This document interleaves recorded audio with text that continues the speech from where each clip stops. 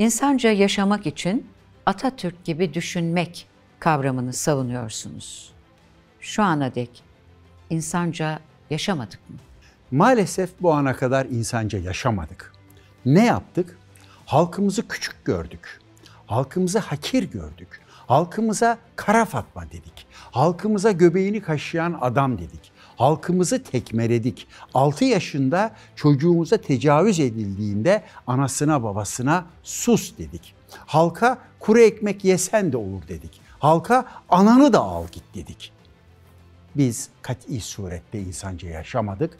İnsanca yaşamak için atamızın insanlara verdiği değerin insanlarımıza verilmesi ve erdem ve akıl içerisinde hareket edilmesi gerekiyor.